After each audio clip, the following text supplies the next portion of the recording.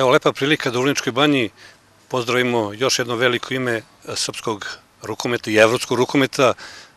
Prvo smo 50 dana pričali sa Ratkom Nikolićem, a još jedan vrhunski igrač, gost Vrnjačke banje, Nenad Puljezević. Prvi put sam u Vrnjačkoj banji, nikad me ta neka sportska karijera nije na, navukla na ove, na ove prostore. Ovaj, što se tiče samog, samog rada, tu su golmani iz Ujedinih Arabskih Emirata, u saradnji sa kampom Ratka Nikolića. Došli smo do, do nekih kontakata saradnje, za sada je okej. Okay. Vidjet ćemo kako će to dalje funkcionisati. Da li su talentovani golmani iz tih područja?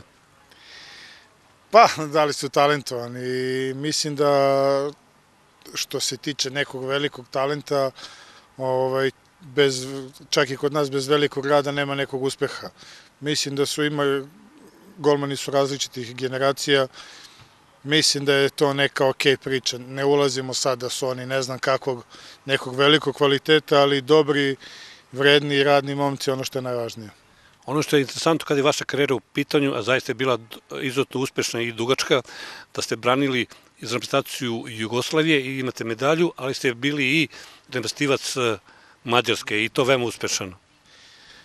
Pa dobro, nisam ponovio taj uspeh što se tiče, tiče same medalje, ali da, branio sam za Jugoslaviju, imam to, tu medalju sa svetskog prvenstva 2001. Ostaje, ostao je žal što nismo ušli u finale, možda i nešto sjajnije da bude, ali dobro, mislim, mogu, zadovoljan sam i tom svojim reprezentativnom i klubskom karijerom, jedini neki je žal što stvarno mogu da kažem, je što nikad nisam učitao na olimpijskim igrama, eto, to je onako nešto što je ostalo, ali nadam se da ću to ostvariti kao trener. Jedan od malog broja igrača ste koji je igrao u Crnoj zvezdi, pa ste prešli u Partizan, pa ste se vratili u Crnu zvezdu. 17 godina sam imao kad sam došao u zvezdu, Ove, bio sam četiri godine, pa zbog nekog razmimo ilaženja sa tadašnjim direktorom sam otišao u Partizan, jer mi nije bilo ni na kraju pameti da idem iz Beograda, iskreno da vam kažem. Ponovo se posle vratio u Zvezdu. Moram, mogu da kažem, bilo mi lepo i jednom i drugom klubu.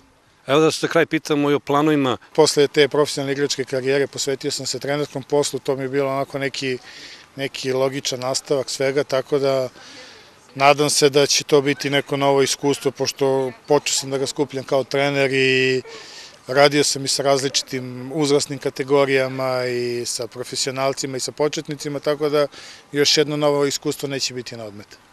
Hvala vam, ali da obećate da ćete ponovno doći u Vrničku banju. To sigurno.